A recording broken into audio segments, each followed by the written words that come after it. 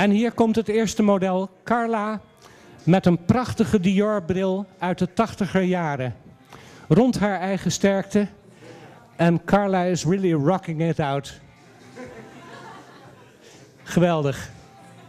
Prachtig, Carla.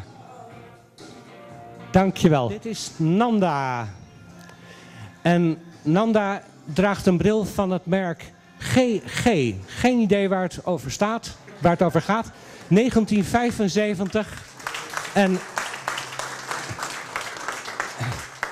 en in 1975 was dit een beetje grote bril, maar niet echt groot.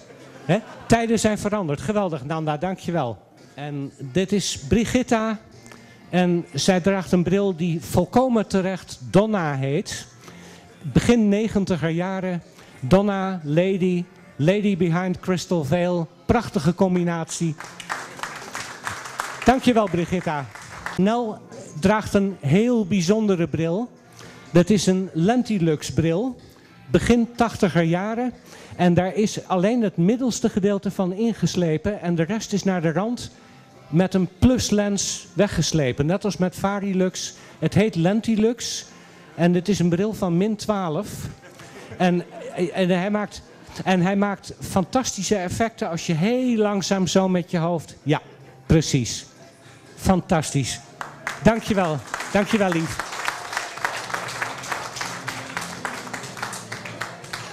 Het volgende model. The hits just keep on coming. Hier is Astrid.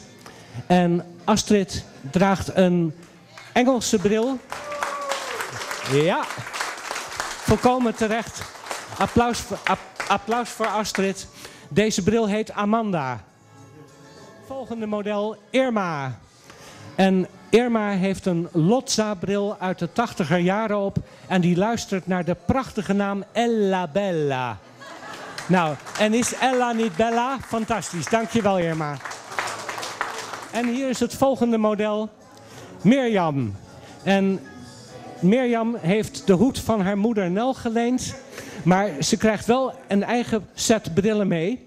Dit is een, een prachtige Christian Dior bril, 1974-1975.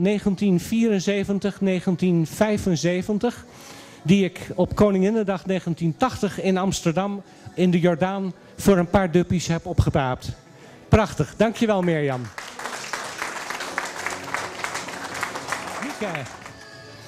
En Mieke neemt ons mee naar de 50er jaren, eind 50er jaren, begin 60er jaren. En in die tijd in Amsterdam, nu zeg je, goh, dat springt eruit. Hè? Hier, Mr. Postman, de Beatles. Als je naar de oude films kijkt, al die meisjes die hun haren eruit trokken en gilden en schreeuwden, droegen zulke brillen. En Mieke, dank je wel dat je dit tijdsbeeld hebt teruggehaald.